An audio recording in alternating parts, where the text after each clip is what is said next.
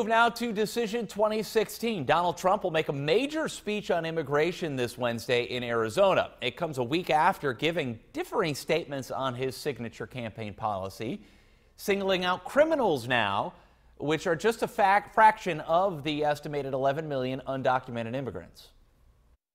Now, the deportation force, I would like to address that. He hasn't mentioned that since last November. The softening is more approach than policy.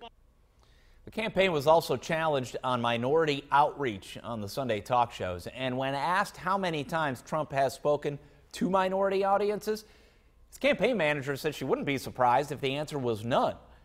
She did pledge that those events are planned.